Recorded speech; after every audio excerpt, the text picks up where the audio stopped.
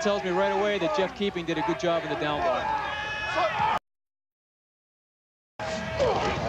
So why not? Carry it again, and that time Laurier stuffs it. And that's Solon for the third straight time carrying the football, but no gain. In fact, it'll be third down and a couple of yards shy. So a punting situation for Western.